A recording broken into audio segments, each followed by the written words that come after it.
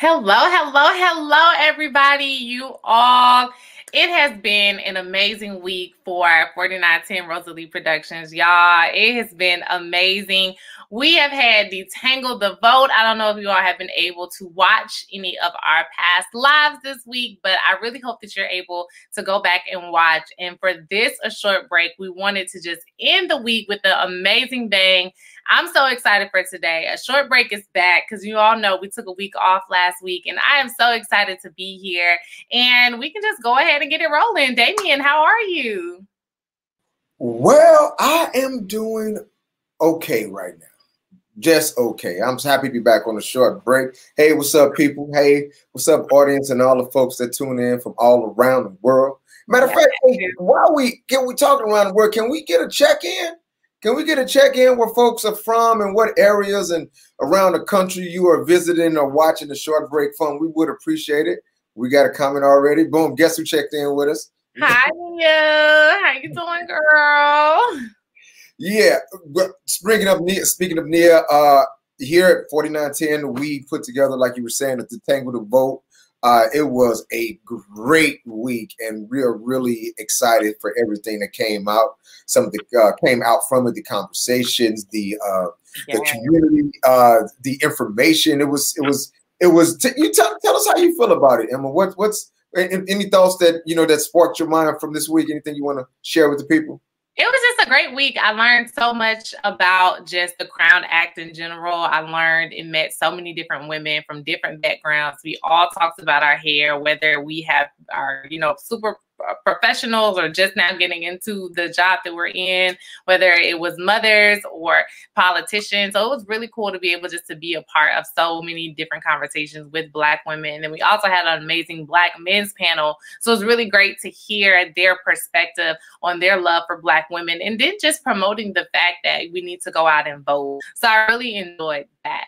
Um, Mia said Citizen She and Nola was so excited for this. And I know I definitely was excited. And I love that we had people in so many different time zones. We had people in so many different places who were a part of it. So I really enjoyed this week.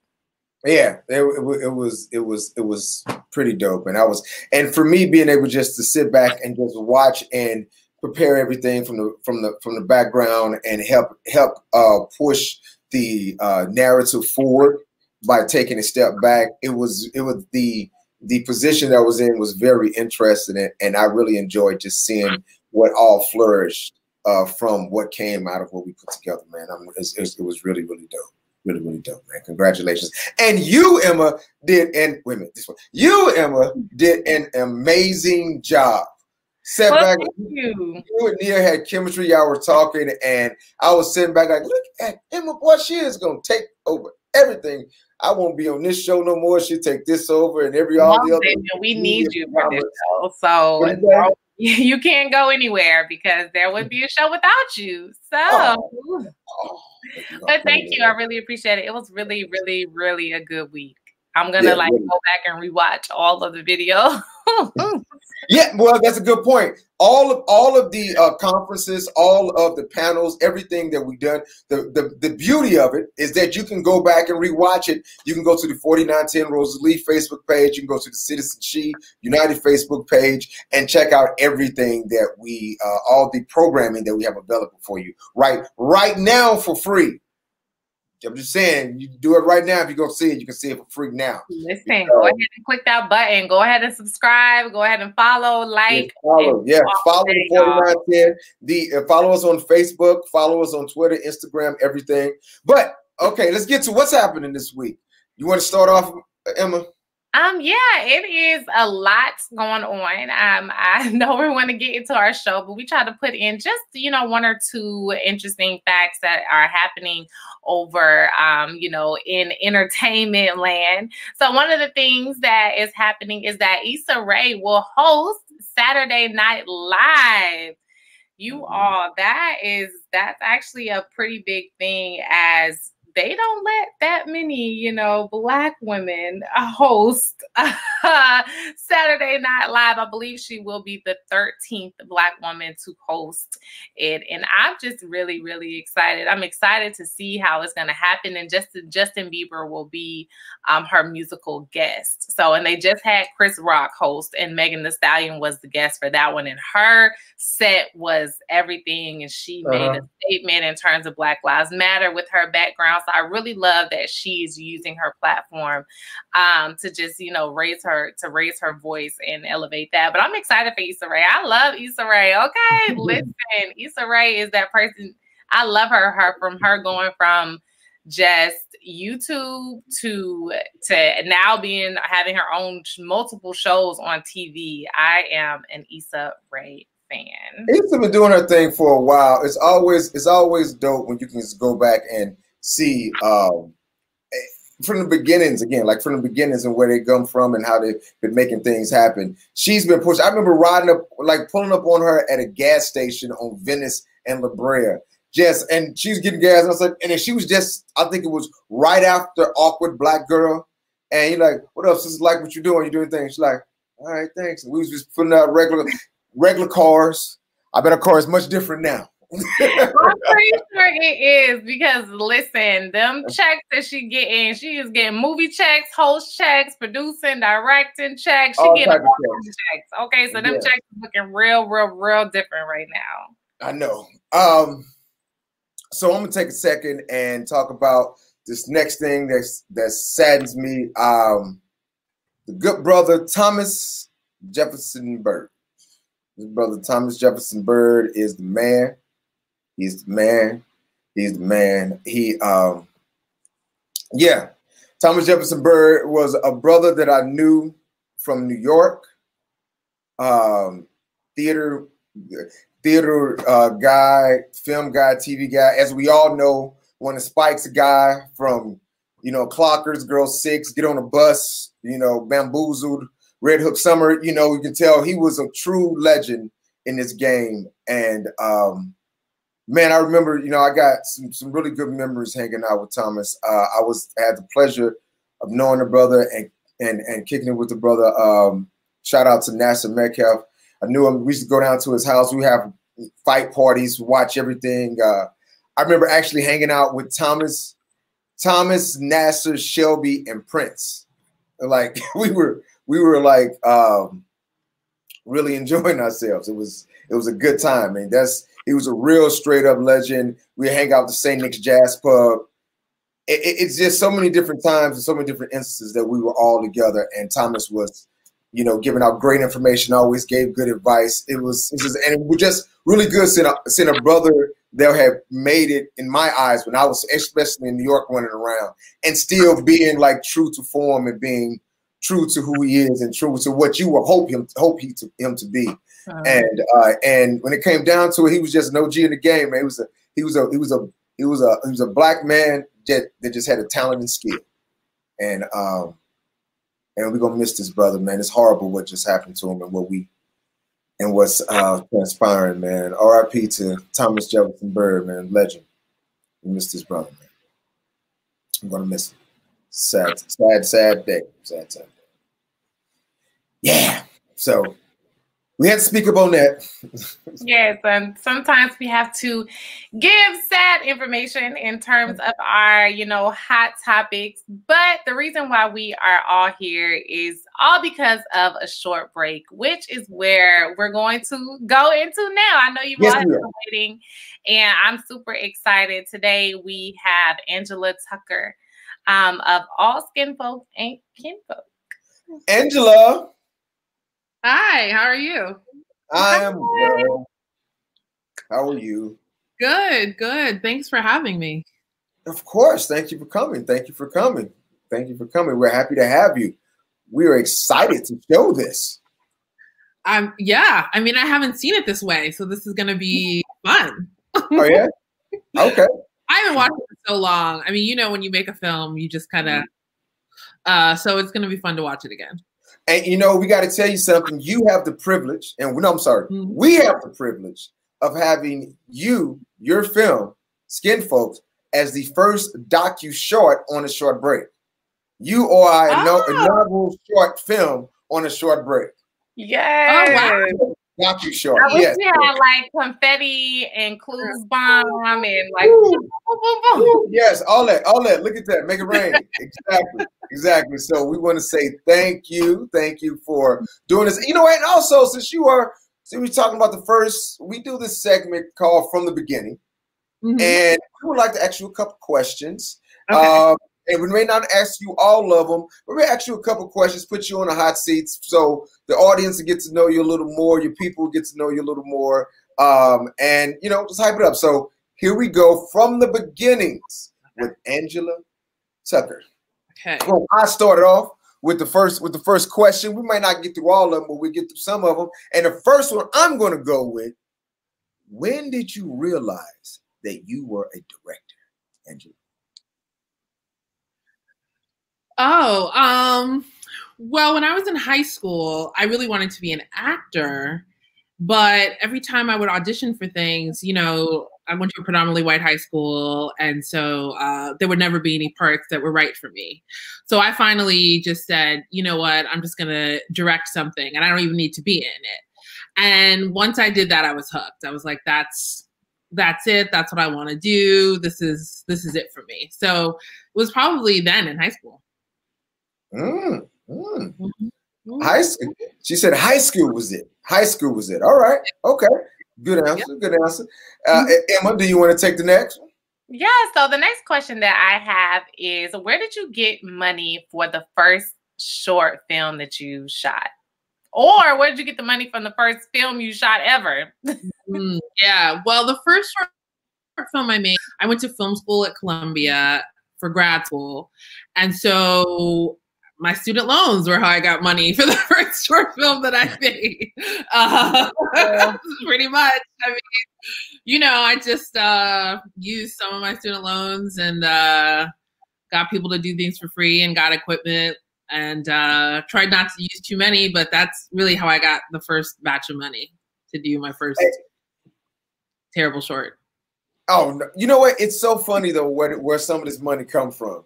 Because mm-hmm. I've, I've heard so many different stories like, hey, man, my buddy has some equipment. So I just, listen, I can tell you how I did one of my short films. Mm-hmm. And you can tell how my posturing that it wasn't completely on up and up. But, you know, yeah, we, you uh, about to go to jail over there? You doing some illegal? No, no, no, no, exactly limitations. Um, we, um, but it was no, it was we had. I was working on another job. We were doing something else, and we had like this long break.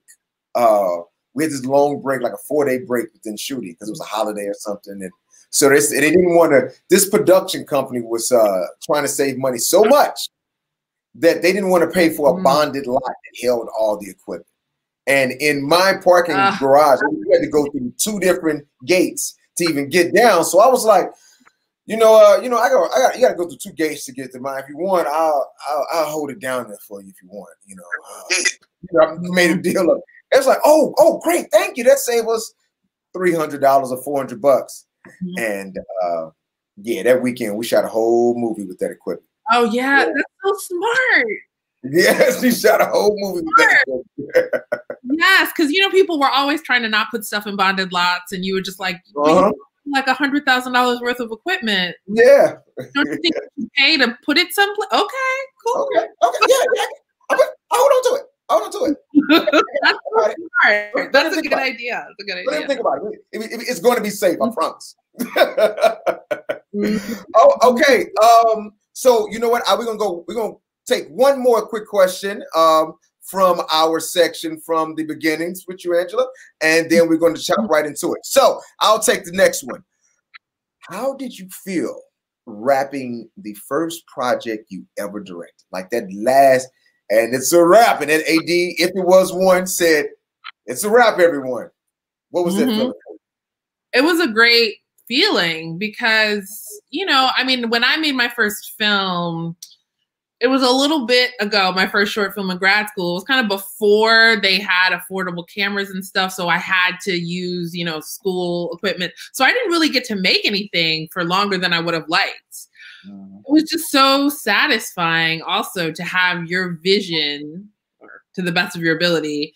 Be like you made the thing you've been thinking about making. It was it was really really exciting, and it was something I really liked the, the film that I made. So it, it was it's a satisfying feeling that you get over and over again when you make things.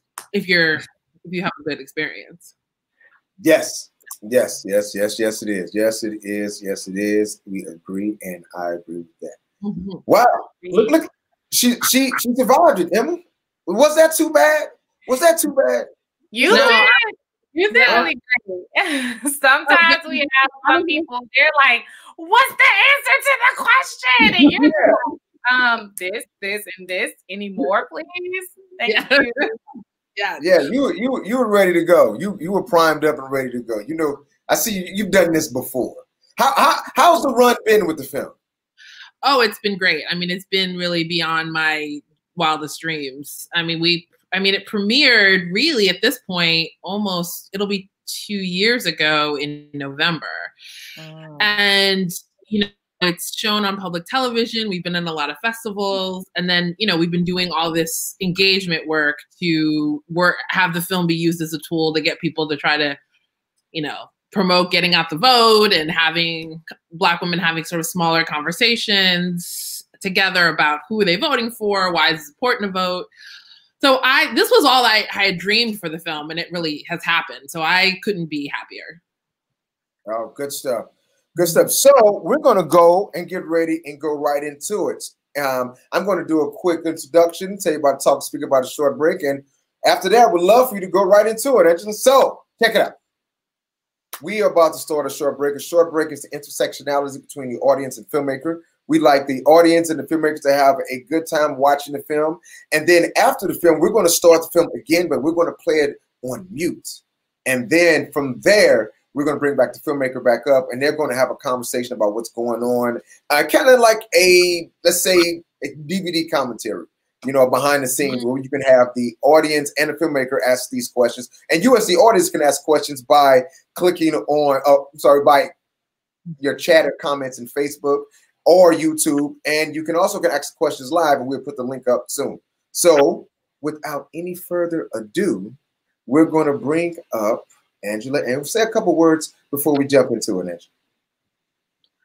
Wow. Well, I just thank you so much uh, for having me again. And, you know, just enjoy the film and just kind of let it wash over you. And we'll talk more about it when it's done. All right. There we go.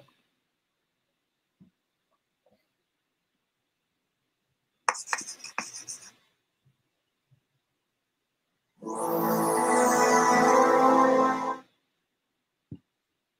need your vote because if I'm elected as Congresswoman, things will be different. We are sick and tired of being sick and tired. And we are tired of people saying that we are satisfied because we are everything but satisfied.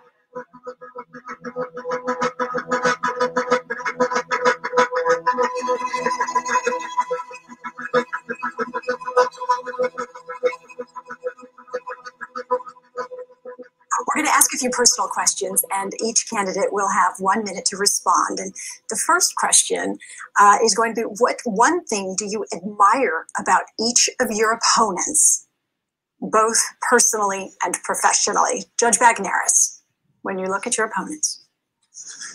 Uh, I believe that uh, Constable Cantrell is a very, very good mother. And for Judge Charbonnet? She has great taste in shoes.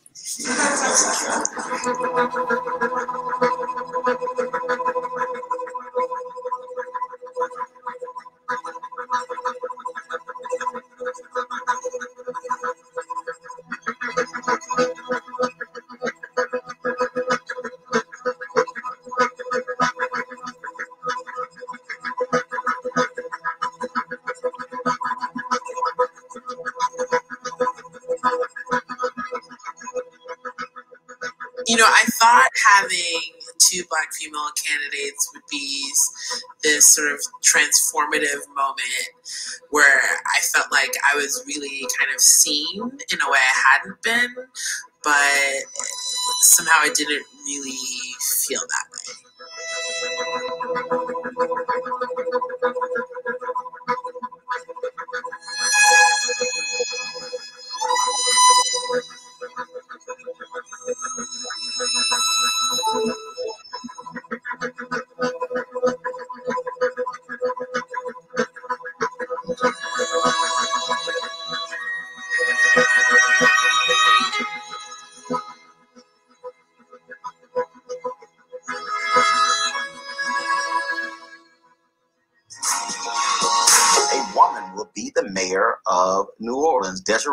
Charbonnet and Latoya Cantrell are heading to a November mayoral runoff.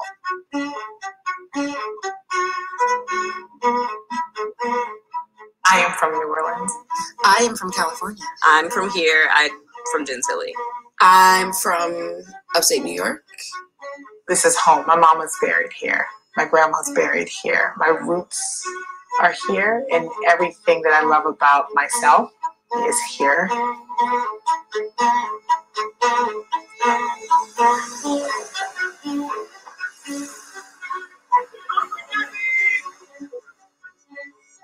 I think it's fantastic that we've ended up in a runoff between two women, considering that there were males in the race as well. It's also important for them to continue to represent that change can happen and that we just need to be diligent and we need to stay to the course. If she wins, I will definitely be excited to see how she uses her platform. Like I'm gonna cast my ballot for a black woman, and it's gonna feel good to me.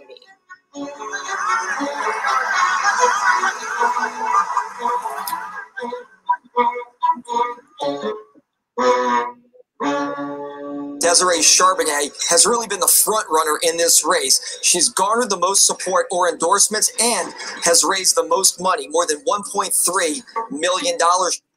They both strike different visuals. One is sharp and polished in physical appearance.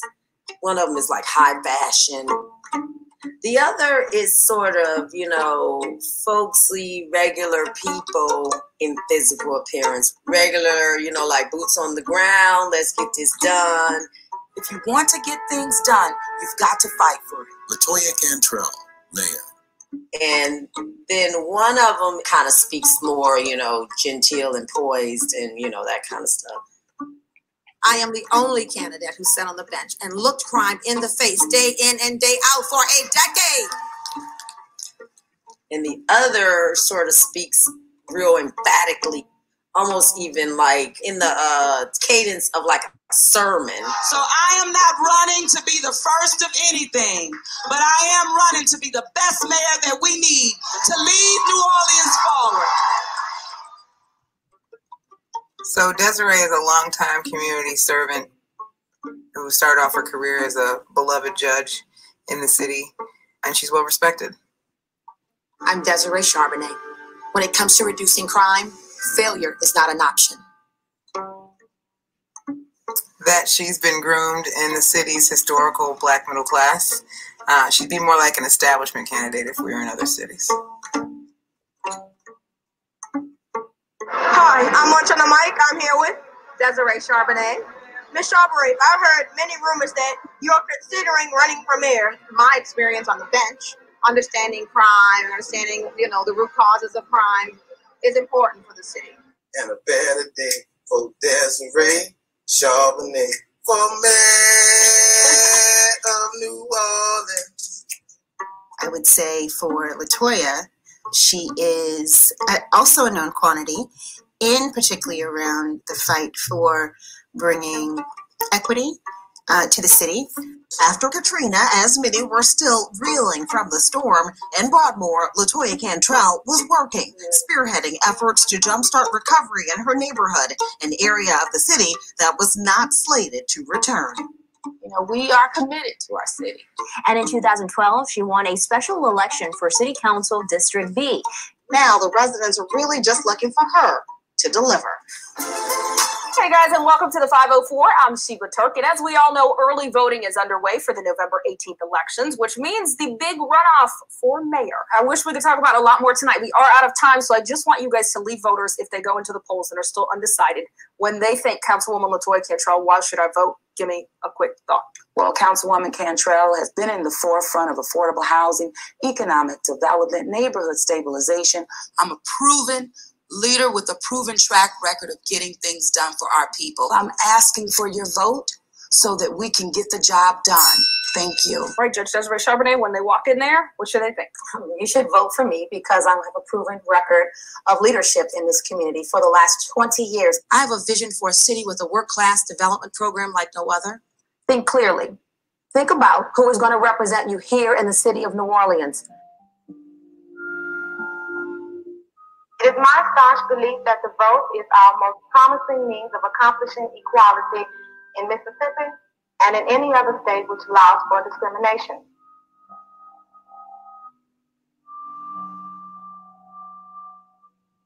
Black women are tried and true, as we've always been, particularly with our loyalty to Democrats showing up at the booth. Um, it's a tradition I think that we have. It's a, it's a tradition that is important. And I feel as if, as a Black person, I have a debt that I owe to, to my ancestors. Somebody bore a whip, somebody picked cotton and tobacco, somebody was raped, somebody did these things because I, I now have the freedom to, to live my life as an individual in this country. So there's a long tradition of Black women always showing up and voting once we advanced in the suffrage movement.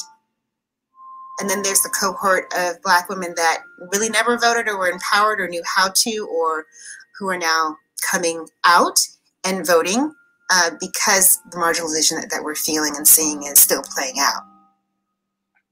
It's kind of those two types of Black women voters coming together. So I think Black women in general have put in the diverse, uh, more progressive, more liberal people in office. Earlier today, we heard the beginning of the preamble to the Constitution of the United States. We the people. It's a very eloquent beginning. But when that document was completed on the 17th of September in 1787, I was not included in that we the people. I felt somehow for many years that George Washington and Alexander Hamilton just left me out by mistake. But through the process of amendment, interpretation, and court decision, I have finally been included in We the People.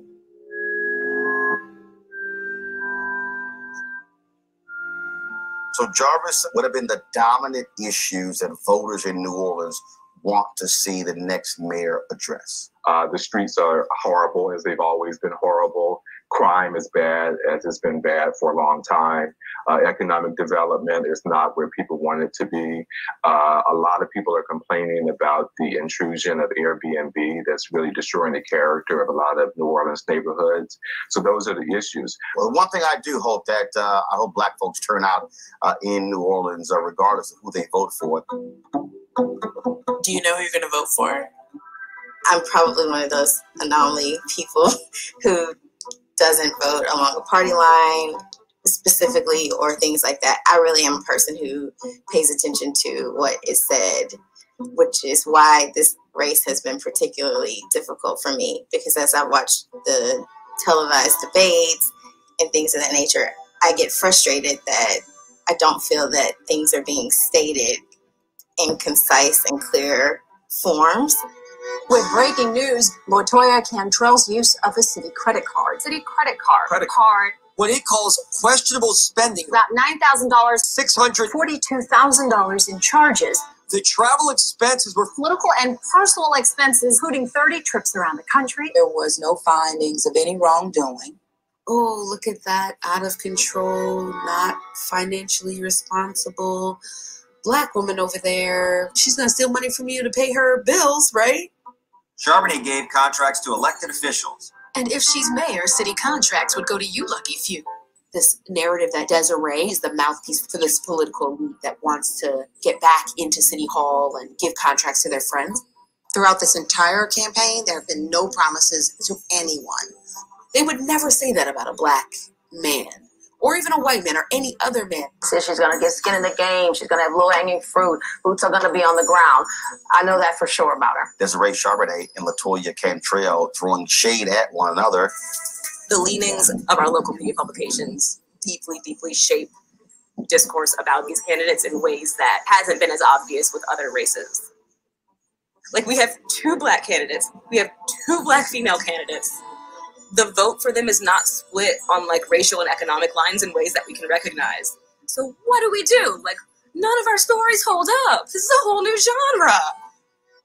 I think just stating I'm a black woman. It's not even safe for us to really say our issues on those platforms.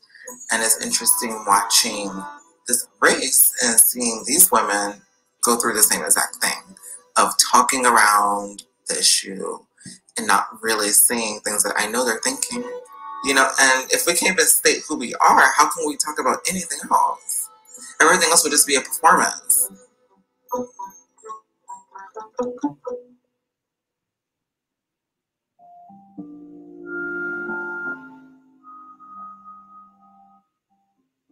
because of the ingrained racism and sexism that is in our political culture, neither candidate can come out and say, I am a black woman, I'm running for this office, and champion issues and ideas and thoughts um, that put black women as a whole at the forefront.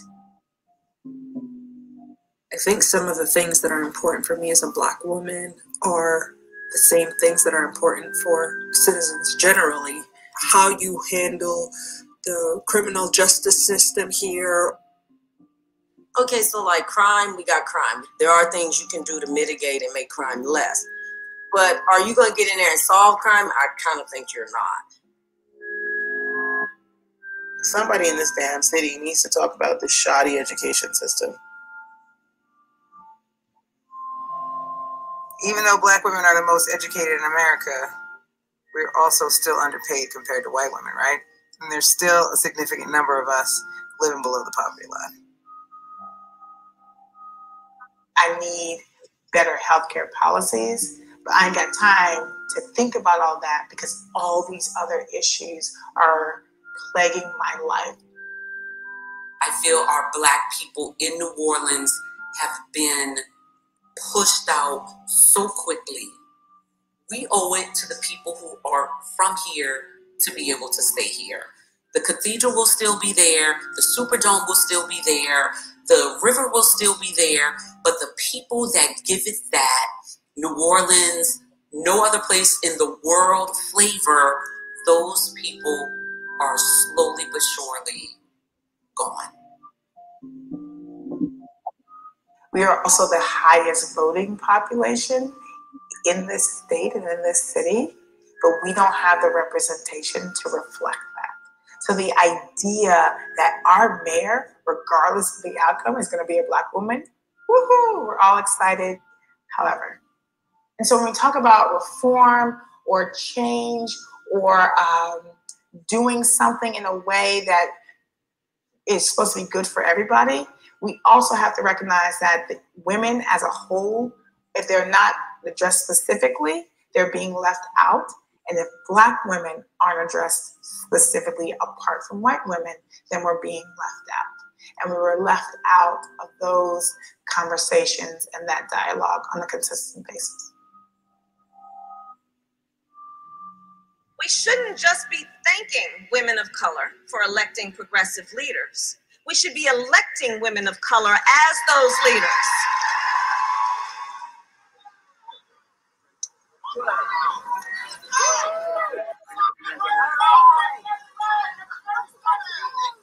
What do people who share experiences that we have owe to us once they obtain a position of power, right? And I think in some ways we still believe that electing folks who look like us, who share experiences with us, perhaps, will be put into positions of power, and the work that they do there will be informed by those experiences. And so I think we're voting that way still. I'm voting that way. So even though there are parts of me that know that isn't always true. And in fact, there are things that suggest that once a person who has been formerly oppressed obtains some sort of power, they then adopt the tools of the white power structure and use them against people who they used to be like. I, am not sure that black and brown folks in positions of power can resist using tools of white supremacy once you are inside of that system of power. I don't need somebody to tell me what it means to be black. I really don't. I actually think it's the height of prejudice to assume that you know what people think because of their color and that you have the right to design their lives for them and to tell them what they will think or do. That's the height of prejudice and the height of uh, hubris, really. Uh, if you are just joining us, uh, we are awaiting the arrival of uh, Mayor uh, Mayor-elect Latoya Cantrell. I think Latoya won because she did a lot of work behind the scenes. So she went door to door. She did a lot of face to face time with people, and that made her feel more down to earth. And I think that that really made the difference. I don't think that her being mayor makes the city Gucci. Um, that's a lot of responsibility to put on one person. And it's in our hands. And I think it can help, but it's not the answer. So prior to coming out, I did have an opportunity. I received a call from Miss Charbonnet, Desiree Charbonnet. And I said to her, Congratulations on standing with me on making history because our history was two women who made that runoff. And we both deserve to be proud of that. We have spoken. The people of our city have spoken, and no one will be left out. No one will be left behind because we're focused on the future of the city of New Orleans, where all of us matter. This has been the people's campaign from day one. I started this campaign going, listening to our people, hearing your cry, but also understanding that we are in a true position to ensure that we are no longer about the haves and the have nots. That we are going to ensure that our city continues to grow and be strong and give real opportunity. That pie is getting larger so that each and every one of us can share in it. So that each and every one of us can win in our city. So this win tonight is not for me nor my family. This win tonight is for the city of New Orleans. Yes, absolutely.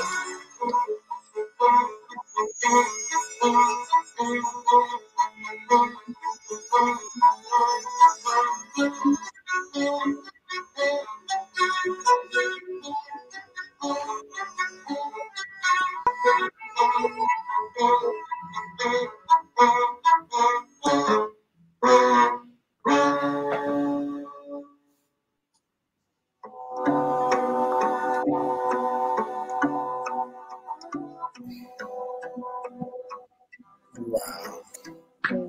a powerful short break that was.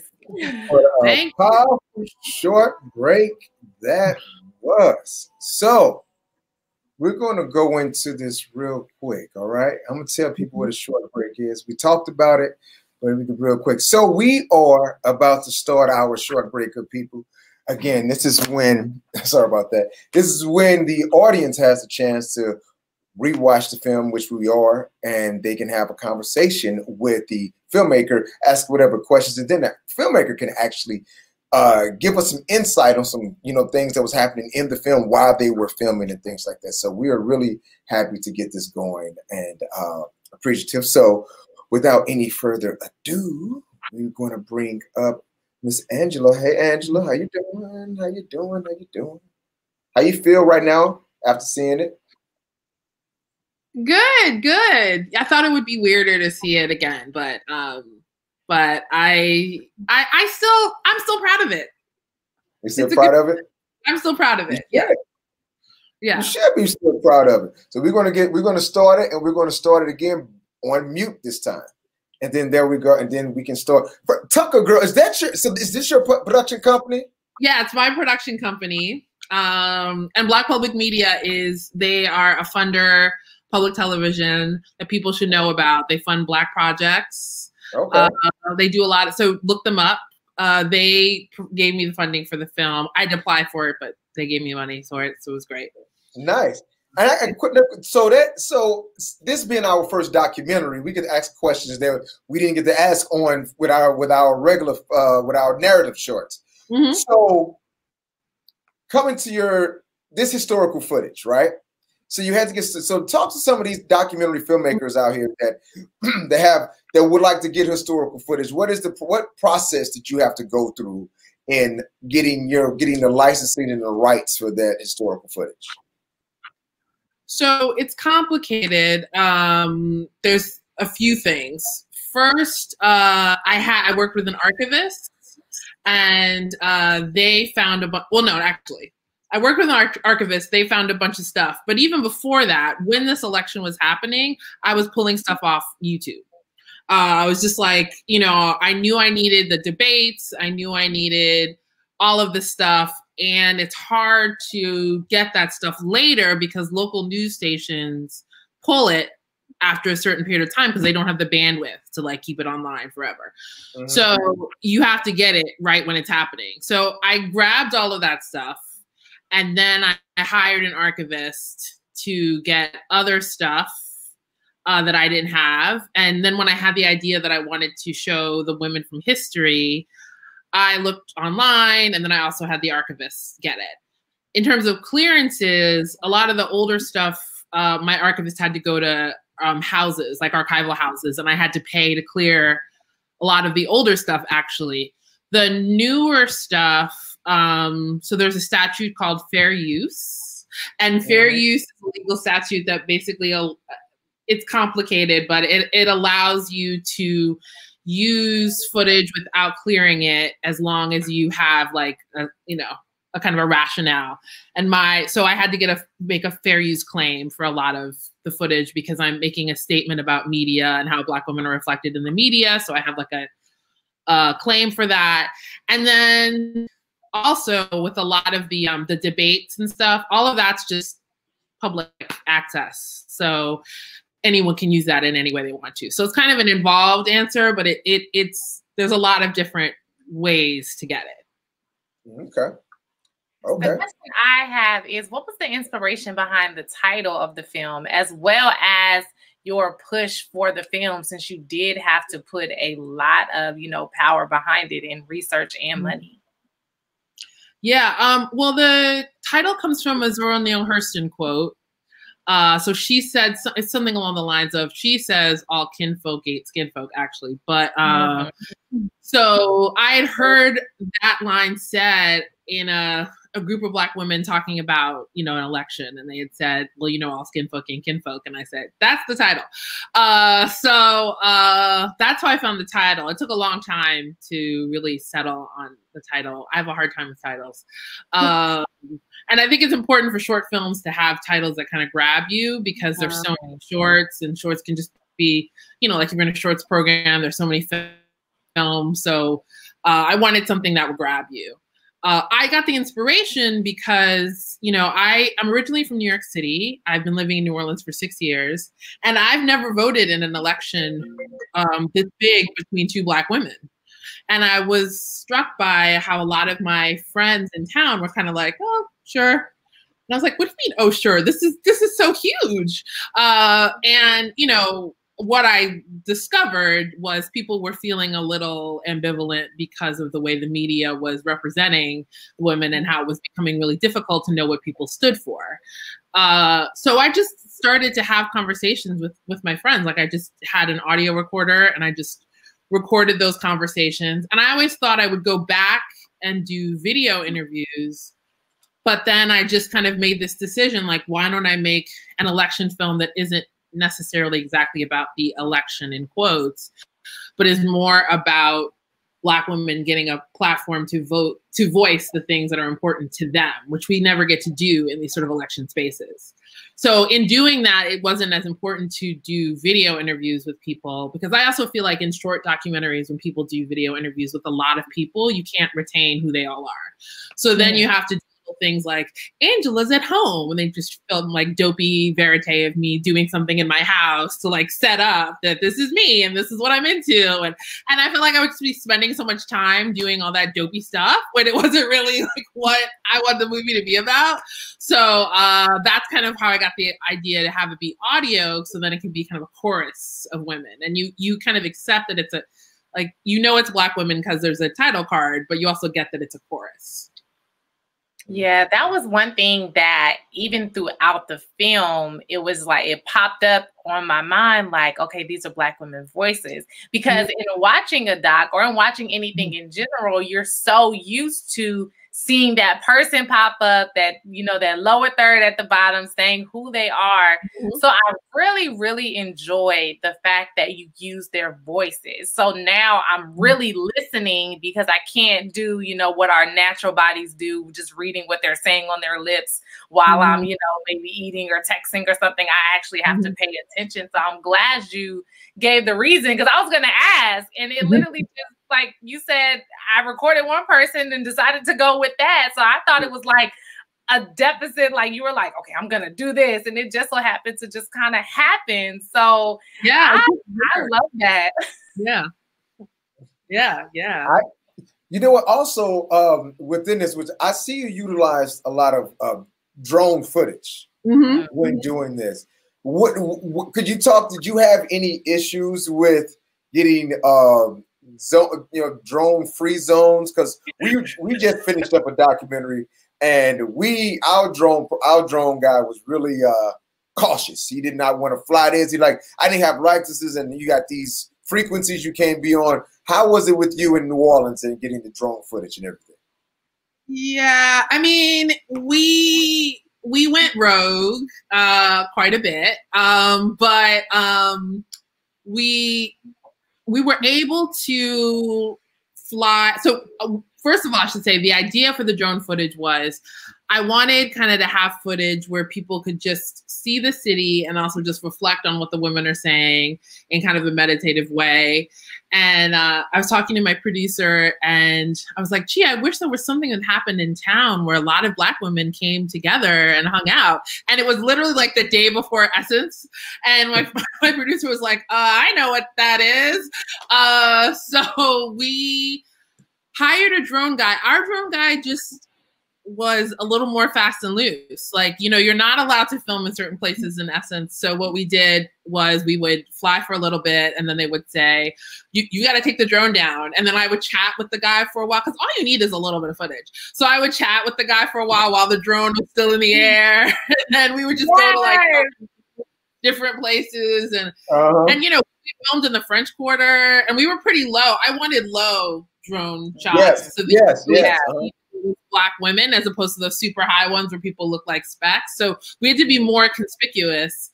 Uh, so during Essence, it was uh, that was kind of the most rogue we went. Then the stuff at the end was um, we just went to different neighborhoods and we were pretty isolated. It was still pretty high up. Mm-hmm. But yeah, I mean, I think you have to find the drone person who is will have that life. Yeah, you gotta get a drone person. Drones a lot. Yeah, and they, you know.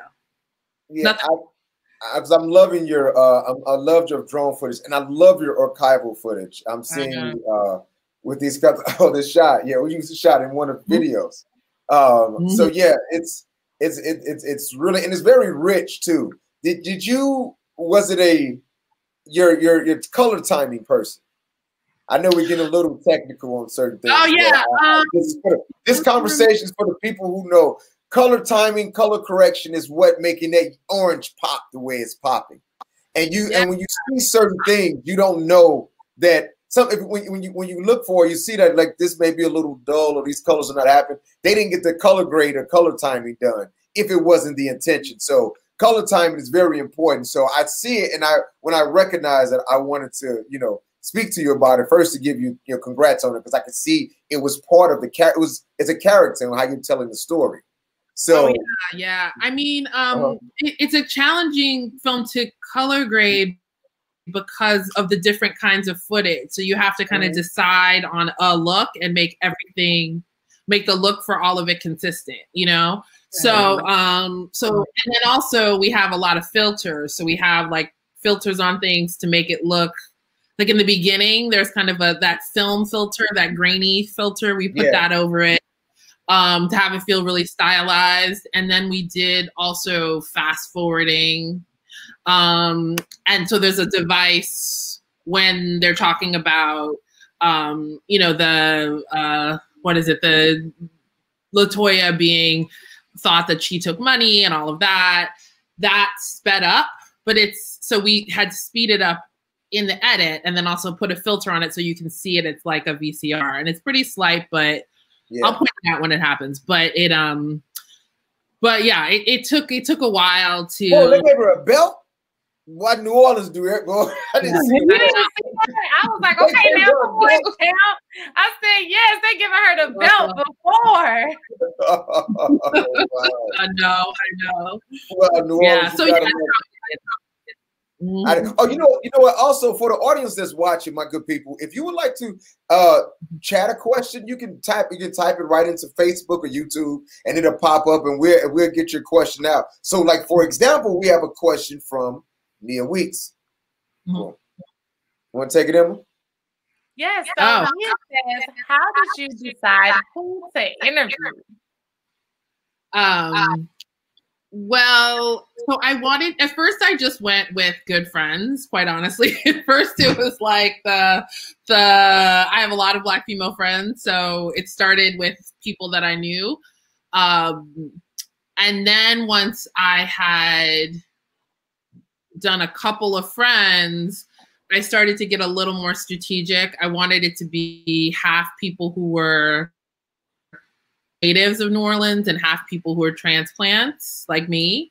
Uh, and then trying to get diversity of age and just sort of the way people sound, because it's a different process when you're using audio, because you want some people to have an accent versus some people that don't. Because in New Orleans, you know, some people have accents, some people don't. Um, so, um, so yeah, I mean, it really just became trying to have an even split between local New Orleans natives and transplants and uh and people who can speak to specific things, you know. Um one of the reasons that um Nia, who messaged Nia Weeks is was chosen is because Nia can speak specifically about um issues that are important to black women in a very concise way.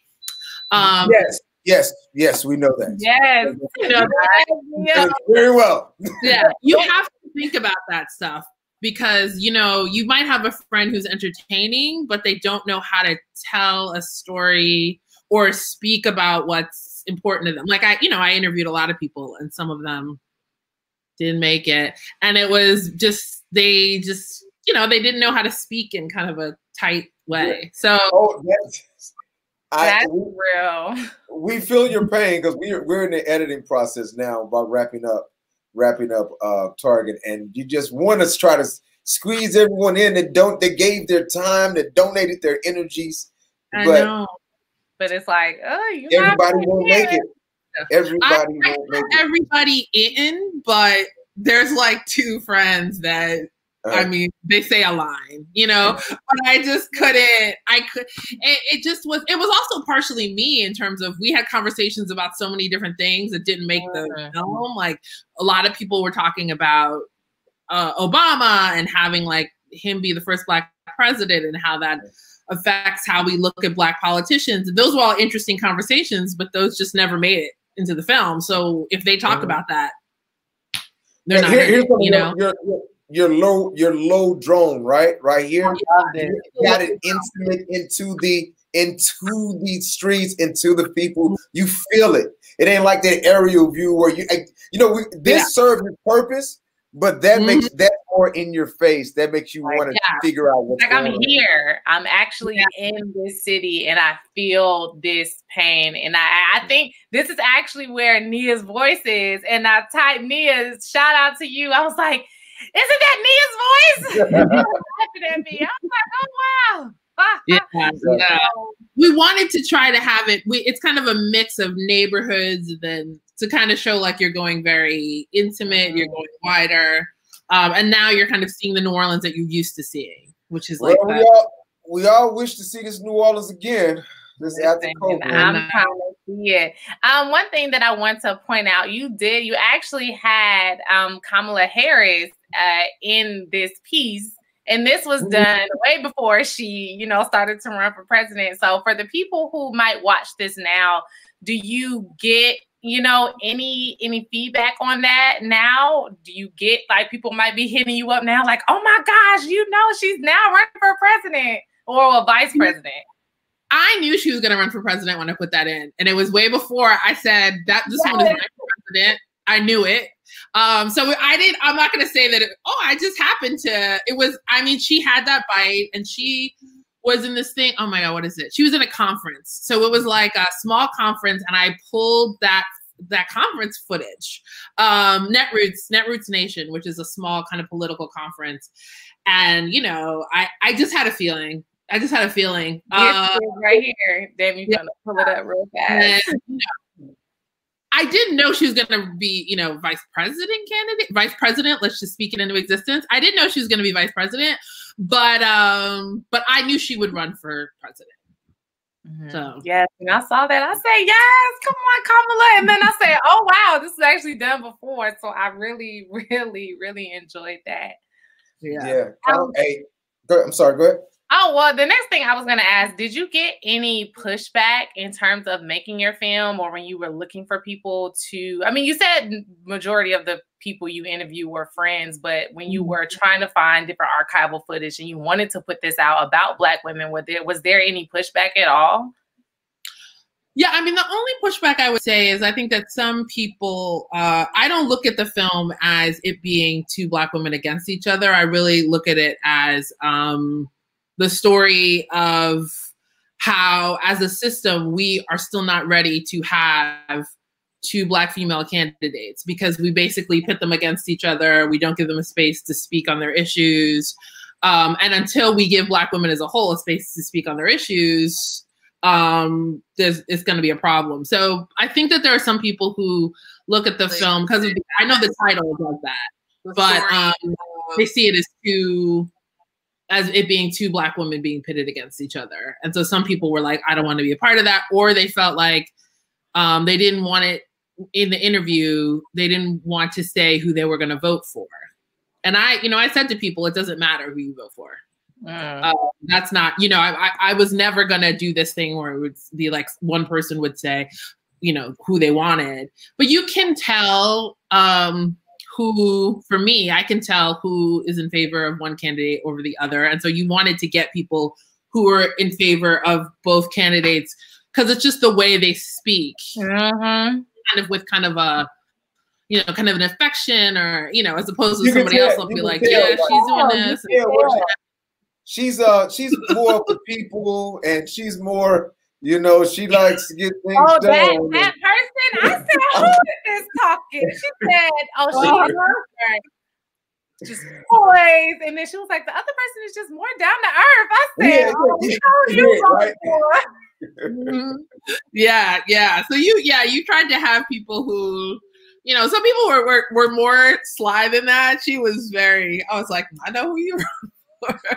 so it, yeah, so it's helpful to. That's the only push up back is people feeling like maybe it's, but it's not pitting two black women against each other at all. as as as you watch it, you can tell like it's a celebration of both of them. It is a celebration of what's going on. It's historic, and then and then come to find out what happened, what that what happened throughout the state of Louisiana Mhm. was uh pretty dope as well. So it was Mhm. It was something. We have an oh we have another question. Here we go from our third host. Yes, Nia, love you. I'm gonna read it. Okay, where Sheba and Jarvis intent. Oh, were Sheba and Jarvis Jarvis intentionally included because of the impact of their commentary and connection to Black people in the city? Yes, is the answer to that. um, so both of those, they're both um in uh Sheba Shark has a show that um had both of them on and uh, so I wanted to include her. She also just really because she is knows so much about the issue and these candidates. She was so smart in how she talked to the both of them, and so I knew I wanted them in there. And Jarvis, I mean Jarvis was on Roland Martin's show and said so many smart things. It was hard not to use all of it, uh, but he's included it to also give people a window into people who are truly active in the community. And so if you watch it and you're New Orleanian, you know that these are, you know, beloved people. Jarvis, though, he did his interview in like a parking structure on Roland Martin's show. And let me tell you, every time I look at it, I'm like, Jarvis, why? Because I have to look at it on a big screen. But um, He said so you gonna get this information regardless. You gonna get this Oh work. my You gonna get this work. yeah, I was thinking though, I was like, I will never do an interview in a parking structure ever because I never know how someone's gonna use it. Uh, but yes, they were both. They were both. And last, that's what your editor. How was your editor? Uh, how was the relationship Oh, yeah. with your editor? So, um, uh, first, I, I should shout out Zach Manuel, who is an amazing filmmaker, a black guy who did the color correction and is a DP. Uh, and that's why I hired him because I think DPs, if you can't like use a colorist, if you can use a DP, they are, have an eye for color organically. So I had Zach do it because I knew that he had a great eye for color. Um, my editor, this woman, Lindsay Phillips, so she and I had worked together on another short doc. She, I mean, she's amazing. And it took, you know, it took a while to edit because it took a while to really find the structure. So, you know, it took, first it was like, can we figure out how to do it? Without the drone footage. Then once we had the drone footage, that solved a lot of problems. Then how do you use the kind of throwback to the black women, how, you know, that whole thing. So it was it was was challenging. It took a while. hmm Okay. Well, you know, because those are those are the heroes that are behind the scenes that a lot of people don't really get to know about. Because when it goes out, it's usually the subject matter, the subject, the subjects of the documentary, and the director writer it goes out mostly the time when it comes to things. And our unsung heroes uh, of you know our colorists, our locations people who actually have relationships sometimes with the uh, with the subjects. You're our uh, all of below the line, our sound mixers who put themselves in some of the most awkward, awkward uh, p- positions to grab that audio for you. I we had a guy that was inside of a uh, uh, you go you know the game way to go into a basement with his boom pumping out because we wanted to film our subject in his backyard, which is beautiful, but it was the most worst to shoot in. But we got the view, we got the image. But man, we got out there as fast as we can. But uh, Shout out to everybody behind the scenes. that's what I'm saying. You got to be shout out to everybody behind the scenes on a documentary uh, and below the line because those people give it, give their energies as well, and we appreciate it very much so. Yeah. For real, for real. So, Angela, would you like to say something before we pull you off? Say a couple words before you get out of here. I actually I have one more question. Oh, you do? Oh, I'm sorry. My Yeah. apologies. Well, Hold this on, let me- kind let of it kind of goes into your into your closing. Um, what with people watching this, what do you want them to take away from the story? hmm hmm Um, yeah, I mean, I want particularly Black women to have conversations around not just the importance of voting and voting. I know many of us are going to do that, but do it. Um, I'm not going to tell you who to vote for, but you know. Um, but uh, you know, also y'all, y'all see the film, you know who to vote for. but uh but they um but also just to create a space that for black women to have real conversations about the things that we want and really investigate politicians who can get us the things that we want uh, because i think that you know particularly, and this is something that you know a lot of people talk about, but the presidential election is very important. But there are a lot of smaller local elections that are also more important and that affect your day to day life in a bigger way. So, you know, I want people to think about those elections and to participate in those elections and to talk about what's important to them.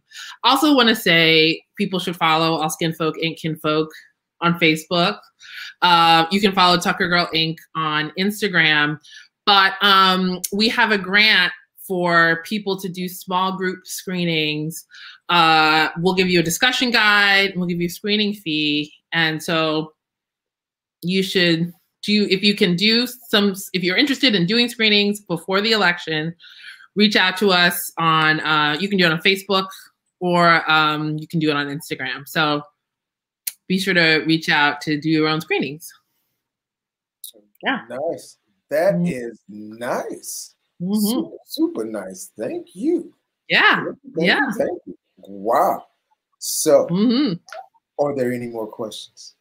No, I'm good. That was the last one I had. That was last one? Um, Okay.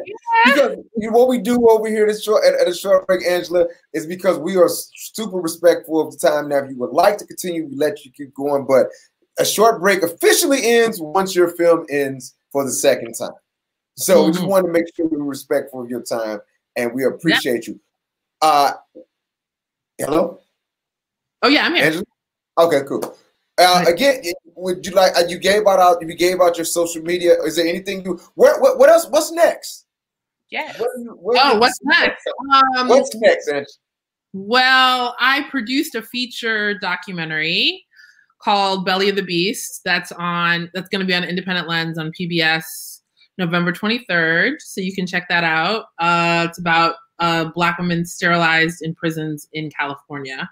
So um, that's coming out, and um, and Mary J. Blige did an original song for it, so that's exciting. And uh, and then I have a, a fiction feature that I'm shooting in the spring, summer of next year. Is this your first narrative feature? My second. Second, My narrative. I What's did the first narrative? Yeah. My first narrative is this film called All Styles.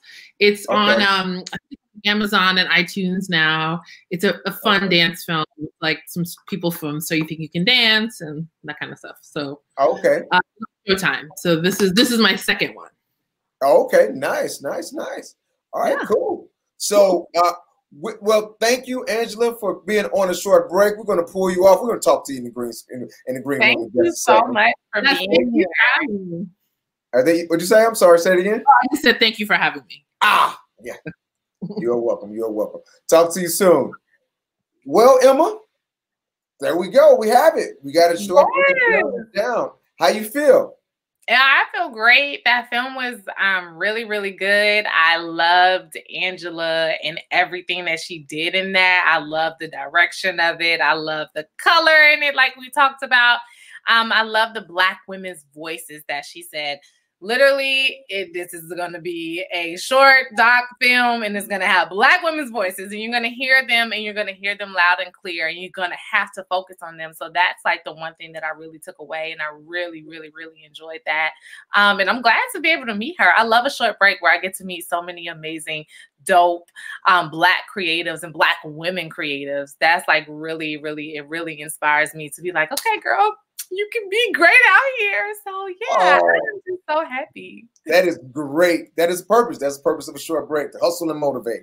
So we are super excited about that. Um, thank you. We'll we'll see. I'm going to one quick thing. So uh, I'm gonna pull you off, Emma. You want to say you had any last words you want to say to the people? Uh, detangle the vote. Make sure y'all go out and vote on November 3rd, whether you're doing an absentee ballot like your girl here, but I'm actually going to take it and take it, take my ballot and put it in the box type situation because I don't trust the mail right now. So make sure you all do that or go get in line or vote early. Make sure you do that. I'll see y'all later. Peace. My good people, um, hey, we had another great short break, and I just want to say one more time about our brother Thomas Jefferson Byrd, man. This man was a titan. Um, theater, film, television. uh, get on the bus. Nola Darling's uh, father and uh, this, she's got to have it on Netflix. He has worked throughout generations. Style, pizzazz. The man had a grace. Uh, we are going to miss him. Um, it's it, we're just going to miss him. And uh, beautiful soul. Always had a had a joke. Had a great conversation. Which knew about his knew his fight game was about his boxing game, and over all around just just dope guy. And I'm going to miss hanging uh, with him and you know from his energy whenever whenever I got ch- we had a chance to cross each other's paths. Um, yeah, shout out to all his, his family. Shout out to all his friends that are impacted. Uh, may he rest in peace.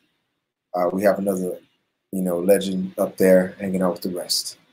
Thank you very much. Uh, thank you for checking out a short break. We got another another one coming up soon. Peace.